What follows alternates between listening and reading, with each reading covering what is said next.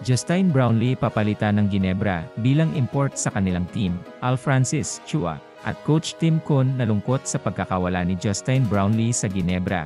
Pero bago natin umpisahan, ay suportahan mo naman ang aking channel.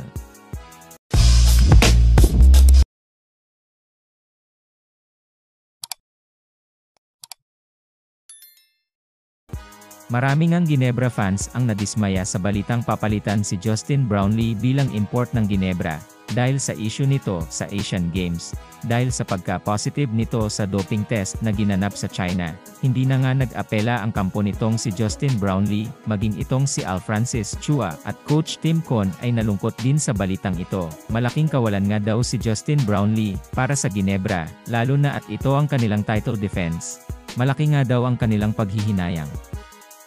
Napagdesisyonan nga ng Ginebra Management na palitan muna itong si Justin Brownlee bilang import ng kanilang team, dahil kung hihintayin pa nila matapos ang issue nito, ay baka mahirapan sila kumuha ng pagkapanalo, lalo na at malalakas ngayon ang ibang team. Hindi nga daw kakayanin ng Ginebra madepensahan ang kanilang title kung wala silang import, dahil halos lahat ng team, ay may mga import na malalakas maglaro, at halos lahat ng veterano sa Ginebra ay naubos na. At sa panayam nga nila dito kay Justin Brownlee, ay nalungkot nga daw ito sa desisyon ng management ng Ginebra, ngunit naintindihan naman daw niya ang mga ito. Dahil wala pa ngang kasiguraduhan kung kailan siya makakabalik sa PBA, hindi na nga umapela itong kampo nitong si Justin Brownlee, dahil para maging mabilis ang pag-process ng kanyang parusa, at baka umabot pa ito sa conference ng PBA, at makapaglaro pa ito sa kanyang team na Ginebra.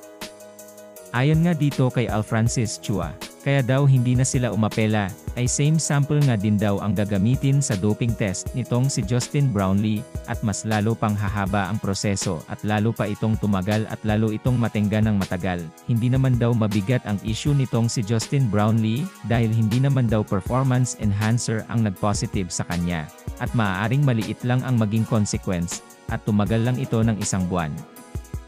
Ngayon nga ay kasalukuyan pa ding naghihintay ang kampo nitong si Justin Brownlee sa magiging hatol dito, at inaasahan nila na isa o tatlong buwan na pagkakasuspende ang maipapataw dito kay Justin Brownlee. Sa tingin nyo mga kaibigan dapat bang palitan itong si Justin Brownlee bilang import ng team ng Ginebra o dapat itong palitan dahil wala pang kasiguraduhan ang pagbalik nito? Paki-comment naman ang inyong opinion. Sana nga ay magtagumpay itong si Kabayan kay Soto na masungkit ang kanyang matagal na niyang pangarap na maging isang NBA player patuloy nga nating siyang suportahan sa kanyang mga paparating na laban. Sana nga din ay magtagumpay ang mga Pinoy sa kanilang mga larangan at maiwas sa mga injury at makamit din sana nila ang gintong medalya. Proud na proud kami sa inyo. Patuloy nga nating suportahan ang mga kababayan nating naglalaro ngayon sa iba't ibang dako ng bansa. Maraming salamat sa panonood ng aking video. Kung nagustuhan mo ang aking video, ay huwag kakalimutang like and subscribe.